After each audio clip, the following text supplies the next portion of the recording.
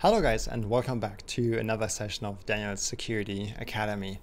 Um, today we are going to talk about um, incident response and um, a four-phase plan which the NIST, the NIST, um, has put out to do incident response um, to uh, any kind of um, malware attacks you might have on your business and companies. So um, yeah, let's jump right into it. I'm gonna talk to you about uh, what is the NIST uh, four phase plan about in general and we're actually going to go through each of the four phases and I'm going to explain what um, each phase is about uh, what you're going to do in this kind of phase and yeah pretty much give you some tips and hints um, how you can structure your own uh, incident response plan so the NIST four phase plan is pretty much a plan of four phases, as it already says, um, having the phases preparation,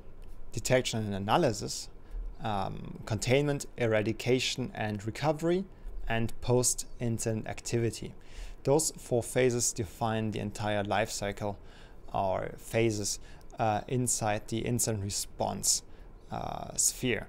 And there's also um, a six phase uh, plan from the SANS uh, organization, which is essentially the same, but they just um, made some of those phases which are collapsed into one phase in the NIST plan, uh, a single phase. For example, the, the, part about containment, eradication, and recovery are uh, single phases in SANS, uh, which are collapsed into one at NIST.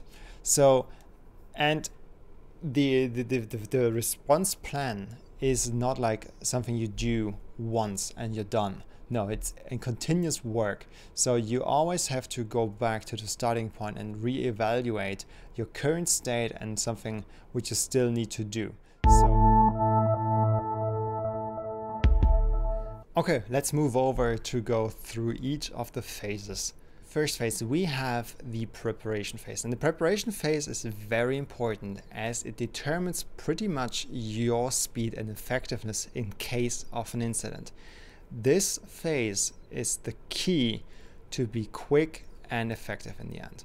So the preparation phase is about tools, resources, personnel, training, building up a communication map and procedures which you need to use or leverage in case of an incident. So going back, so for tools, for example, you need something which is able or capable of detecting an actual incident.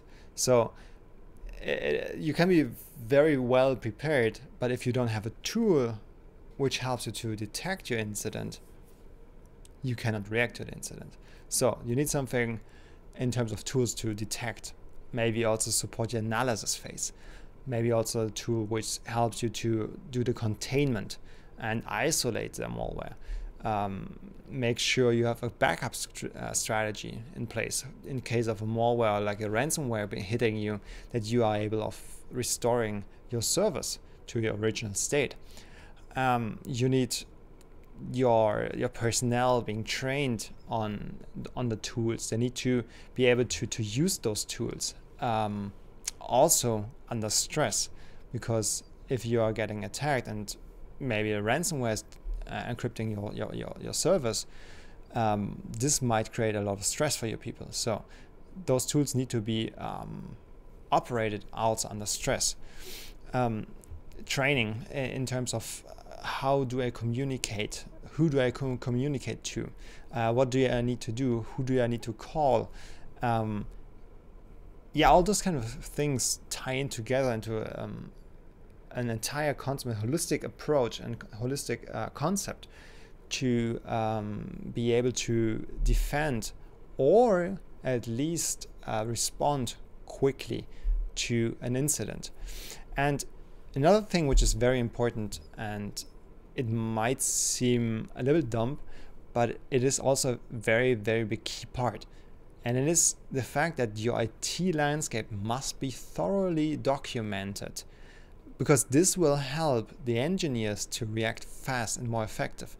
If they know what is in place in the landscape and um, what is not because if they still like an incident happening and they need to find out okay what kind of servers do we have to run those uh, application? Oh we, do we have a separate uh, database server additionally you also need to create um, an escalation matrix as i already mentioned the communication map and the communication plan also kind of consists of or contains um, uh, an escalation matrix to make sure as i already mentioned before that everyone knows um, who do I need to call if something happens? And everyone has the relevant contact information. So no one has to check in his contact addresses. Okay, do I have the number of this guy? I'm not even sure. Uh, is this number even like still in use and service? Is this guy actually the, the, the guy in charge? Didn't he leave the company like three, four years ago? This kind of stuff needs to be avoided because this will uh, cost you time, time which you do not have in case of a ransomware attack or an actual incident. And most oftenly in the preparation phase, it also helps you if you are not an IT company to get some help from a managed service provider. Someone who does this on a regular basis, someone who has already processes the personnel and training in place uh, for people to do this kind of job. So um, it is important that you have an incident response plan for your company no matter if you're using a managed service provider or not. But managed service provider may help you to react quicker and better to incidents instead of doing it in-house with your own um, tools and personnel. But this really depends on your business, right? So not every business is the same. Some have a big IT company or IT department inside the company. Um, so they might have the, the resources. So whatever fits to you, uh, but I highly can recommend tech managed service providers um, to support you. Um, then we have the second uh, phase, which is, which is detection and analysis. In this kind of phase, which is the, pretty much the continuous phase, uh, which is always going on until something happens because it's um, a continuous phase of detection. You try to detect something. Um, you compare and analyze um, indicators of compromises, IOCs, and, and if those are like actual attacks or just like a deviation from normal. So sometimes um, you will get an IOC saying, okay, this user never logged in from this location and did something like that. And then you're just gonna see, okay, he traveled to another office okay, this is just a deviation from the from the standard, from the baseline we have uh, set in our detection tool. And yeah, this is just um, another guy being somewhere else.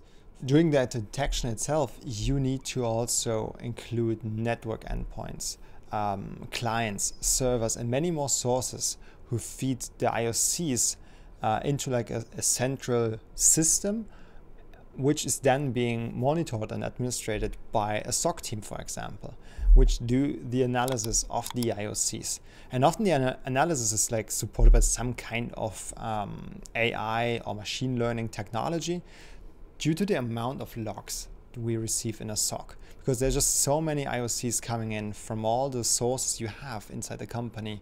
And it's almost impossible for a human being to go through all of those logs and IOCs um, manually. So that's why you get an AI or machine learning algorithm to support you to pre-qualify something or do some research before you actually interact with this kind of case. Um, if an incident is being detected, um, it is like the core task to gather um, as much information as possible about the incident um, as well as understanding how the attack started and what is the scope of the attack. So, what is being affected. Um, this is pretty much the analysis phase of an actual incident. And then we move it over to the third phase. The third phase is containment, eradication, and recovery. And this is pretty much like three sub phases which are in this entire phase. So the first one is containment. Containment's goal is to reduce, stop the spread of the malware inside the network and pretty much minimize the, the impact from the malware onto your systems and services. Often the isolation of, of hosts uh, or networks is, is part of this phase. And please do not shut down or turn off systems just because they are affected or um, being uh, under attack by a ransomware. Because as you might want to do a full analysis afterwards on those kind of systems, what happened, what um, might the attackers already have taken with them. Because sometimes the ransomware attack is not just about encrypting uh, your, your data, maybe they also try to exfil exfiltrate some of those data. So it is important to do a, like a full analysis after an incident to understand what happened and what they did. So and for this one, you might need to want, uh, you might want to um, recover some information from the memory or the logs of the system. So do not shut down the system in case of an emergency. Isolate the system. Um, if it's just one system, take off the network infrastructure of it or the network connections from it. So the host is still running. It has no connection to the internet, to the network. So it's just its own bubble um, or you do it with an entire network. Just take it off. Um, let, don't let any traffic route from this kind of network somewhere else and vice versa. But do not just turn it off. This is important for the containment phase or the containment subphase. The next subphase is the eradication, which means that you try to get rid of the malware um, from all affected systems pretty much and uh, which is often related uh, with uh, re-imaging or restoring um, of the servers from a backup, especially if you are hit by a ransomware attack. But in this case, you also need to check, are my backups maybe also affected? So, um, because nowadays those ransomware attacks they are very good at destroying also the backups.